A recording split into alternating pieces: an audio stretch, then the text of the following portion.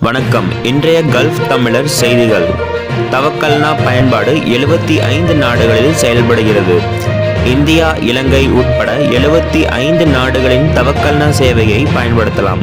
சவுதியில் இருந்து விடுமுறைக்காக தாயகம் சென்றவர்களுக்கு இது மிகவும் பயனுள்ளதாக இருக்கும்.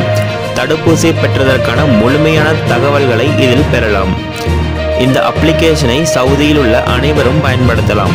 இதில் தடுப்பூசி பெற்றதற்கான தகவல்கள் மற்றும் கொரோனா நோய் தொற்றால் பாதிக்கப்பட்டிருந்தால் அதனுடைய தகவல்கள் மற்றும் உங்களுடைய சுகாதார நிலையை தெரிந்து கொள்ளலாம். மேலும் அமீரகம் குவைத் சவுதி போன்ற நாடுகளின் செய்திகளை காண மற்றும் விமான போக்குவரத்து சேவைகளின் செய்திகளை காண நமது கல்ஃப் தமிழர் சேனலை சப்ஸ்கிரைப் செய்து கொள்ளுங்கள். கூட இருக்கும் பெல் பட்டனையும் கிளிக் செய்து கொள்ளுங்கள்.